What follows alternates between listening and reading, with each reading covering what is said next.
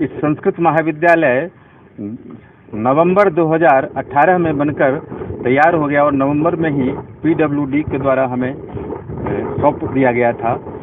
उस समय में हमने प्रयास भी किया, लेकिन विधानसभा आचार संहिता लग गई और इसका न तो शिलान्या उद्घाटन हो पाया, न हम शिफ्ट कर पाए।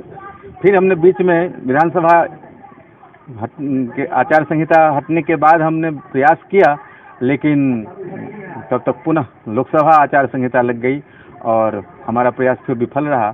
और अभी हमारे हमको हमारे शिक्षा मंत्री श्री सुभाष गर्ग जी महोदय ने छः तारीख को बुलाया था।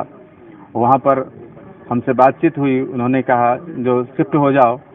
तो लिखित में आदेश दिया परसों लिखित में आदेश आया और आज हम शिफ्ट तुरंत करने जा रहे हैं बच्चों के सही लाना नाम बता दीजिए आप। विनय चंद्र झा